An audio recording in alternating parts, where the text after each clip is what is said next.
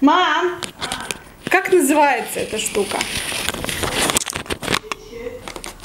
О чем мне сказать в видео? Как это называется?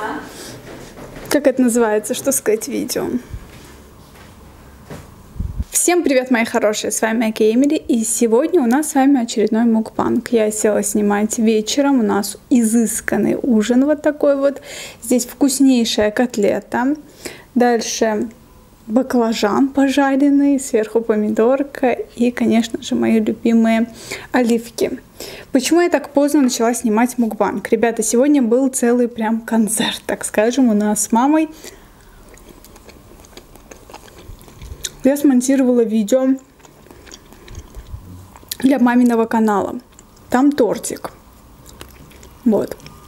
И получилось так, что звук не записался. Ой, господи, как это как это круто! Здесь, оказывается, еще есть сыр. Сыр, мясо, котлетка, баклажан. Просто гляньте. Просто настолько горячий он пока что. Я даже не знаю, смогу ли я сесть.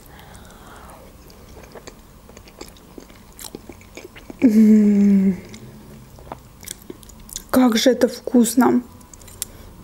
Обалдеть просто. Сколько здесь штук.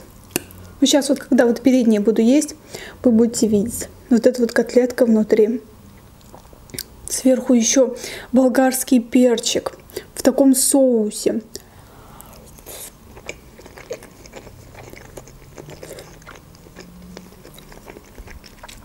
Вы хотели разнообразия? Пожалуйста. Это мама приготовила чисто для вас. А то я все фастфуд и фастфуд.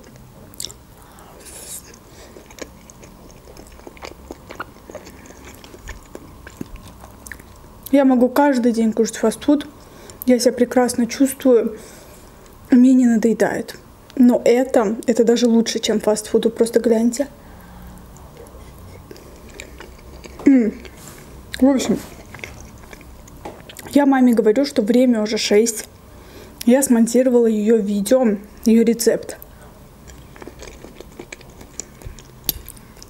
И мне на свой канал нужно что-то выкладывать. Мама говорит, что если ты выложишь мукбанг с тортиком, а потом выйдет мой рецепт, мой рецепт потом никто смотреть не будет. Я говорю, мама, ты чушь, все будут смотреть, не переживай. У меня уже с утра нету видео на канале.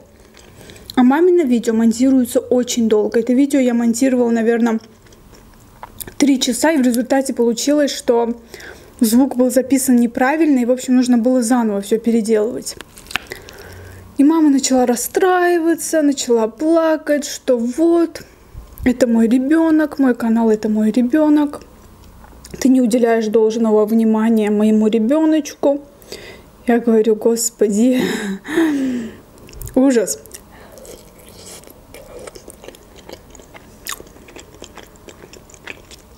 Мама настолько трепетно относится к своему каналу. Она прям дрожит над каждым видео.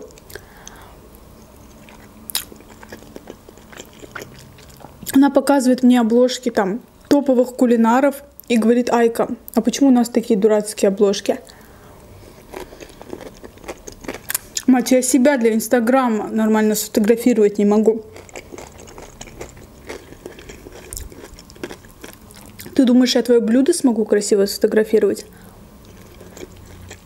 Мама начинает, нет, ты делаешь все на пофиг. У тебя вон какие красивые обложки, а у меня... Ну не могу, я не умею я так фотографировать, я не знаю, как они это делают. Смотрю, у некоторых так аппетитно сфотографировали, даже вот знаете, Прям вот эта сочность как будто через фотографию передается.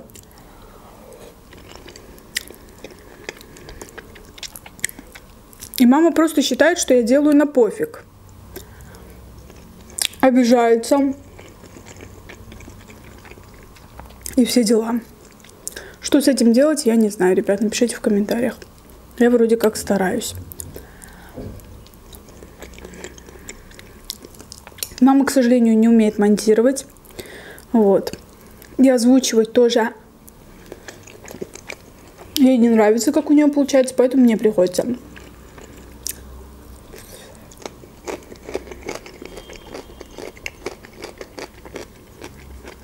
Как мне нравится освещение, вот это вот, ring light.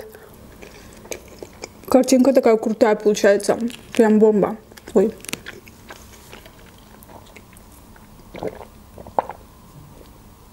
Вода с лимоном и с мятой. Любовь. Просто one love.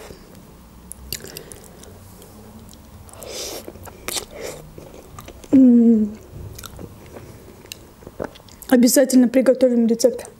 Подписывайтесь на iCook. Мама тоже обрадуется.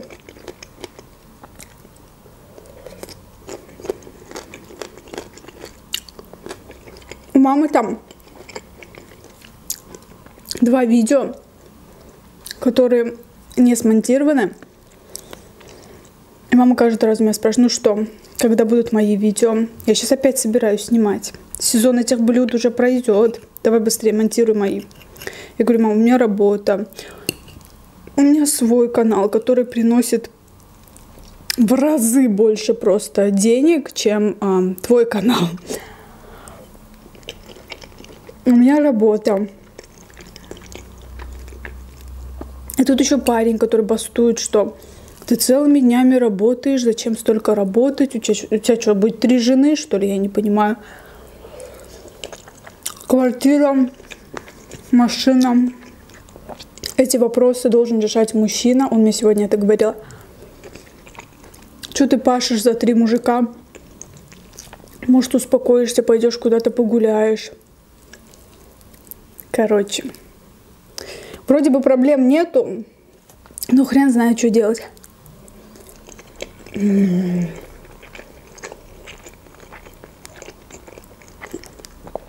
Как же это вкусно. Как же это вкусно. Внутри котлетка. Она обалденная.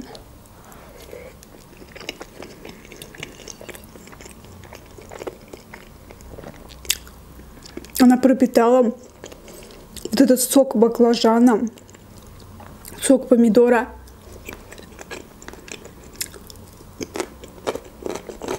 И получилось волшебно.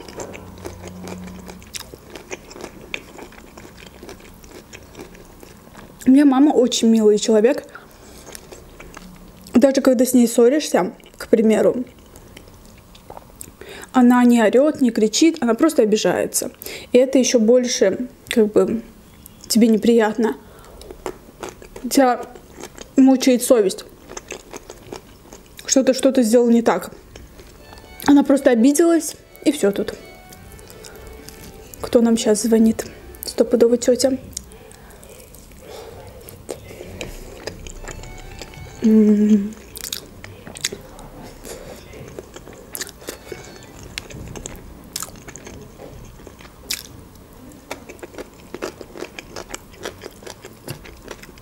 В общем, Такие вот дела.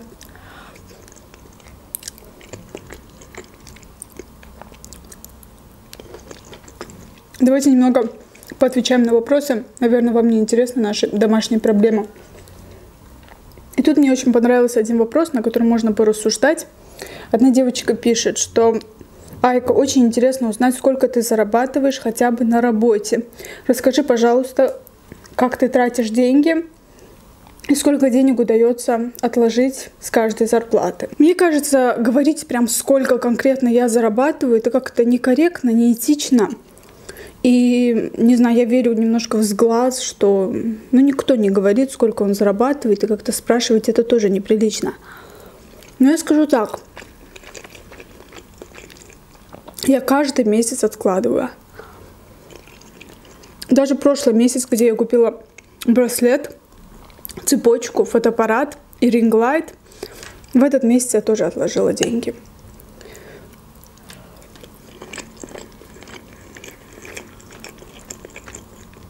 Если вы не знаете, куда поступать, хотите хорошо зарабатывать, идите в строительный бизнес.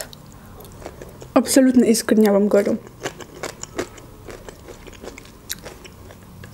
Там все крупно крупные зарплаты, крупные сделки, и, следовательно, ты хорошо зарабатываешь с этого.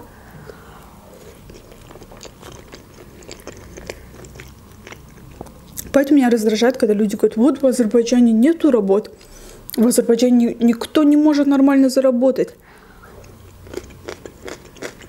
Как сказал наш сосед, если ты не можешь заработать, это не значит, что здесь никто не зарабатывает.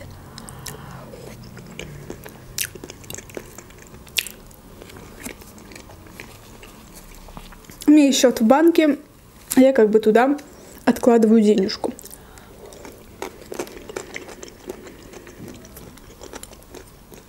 Я могу спокойно пойти и взять ипотеку, платить ипотеку, но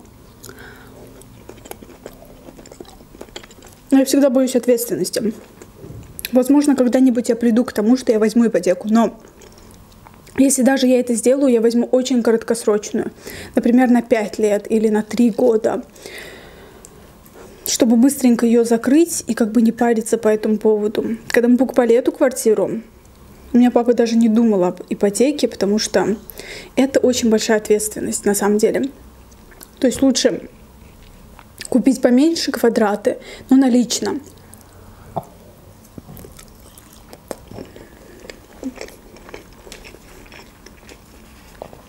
Меня на работе была девушка. Точнее, она сейчас тоже у нас работает, просто она ушла немножко в иной отдел. То есть я ее вижу не настолько часто, а, как раньше, например. Да? Раньше мы, считай, сидели вместе. Ну, в общем, не суть. И у нее, получается, была сумма на однокомнатную квартиру. Полтора, ну, в то время, да. В то время жилье тоже стоило немножко по-другому. Это было давно, до замужества. У нее была сумма, с которой она могла купить однокомнатную квартиру.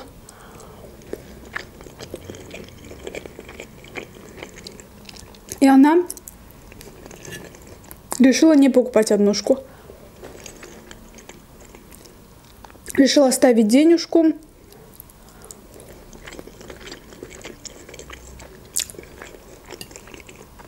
Они там с ее молодым человеком решили пожениться. Решили, что это будет первоначальный взнос, а затем уже они будут платить за свою квартиру и уже за трешку, потому что они собрались создавать семью и все дела. Но первоначальный взнос – был чисто из ее денег.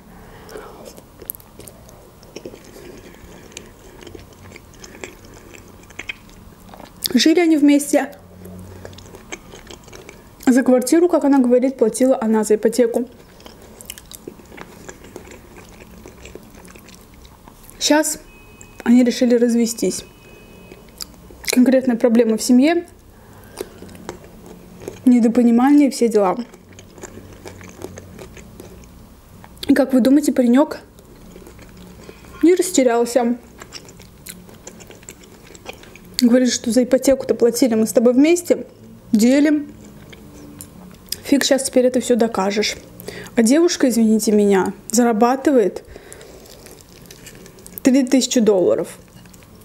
Понятное дело, что она платила за эту ипотеку. Ну, в общем, там можно доказать, конечно. Разговаривали с адвокатами все дела. Но опять же, головная морока, разбирательства эти все. Легче просто было в то время купить себе однушку.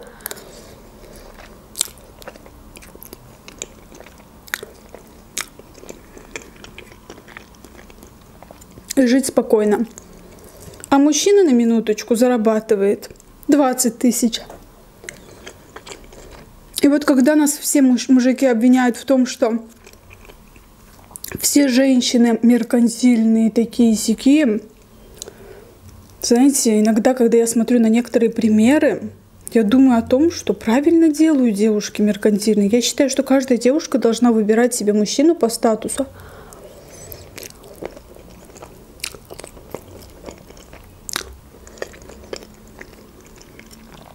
Здоровая меркантильность – это неплохо. Если ты, например, девушка со статусом уже, уже зарабатываешь хорошие деньги, ты должна найти себе мужчину тоже по статусу.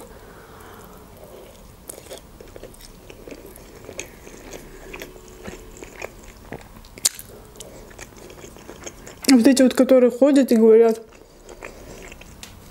девушки обнаглели, олигархов ищут себя.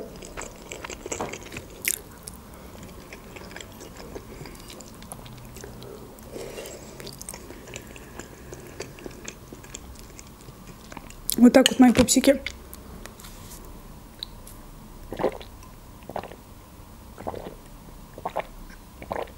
Вот в то время купила бы сама себе однокомнатную. Сейчас бы было куда идти.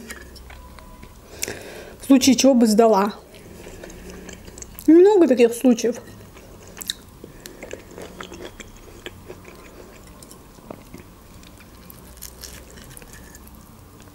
Вот так вот, ребята.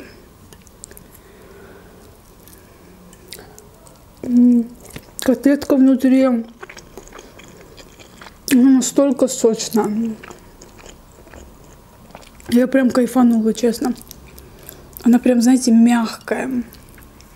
Прям все пропиталось.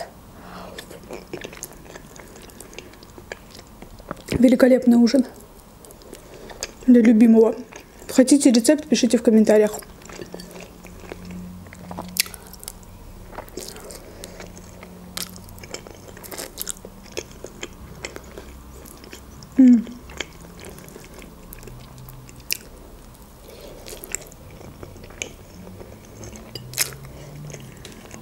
Даже не знаю, сколько здесь было штук.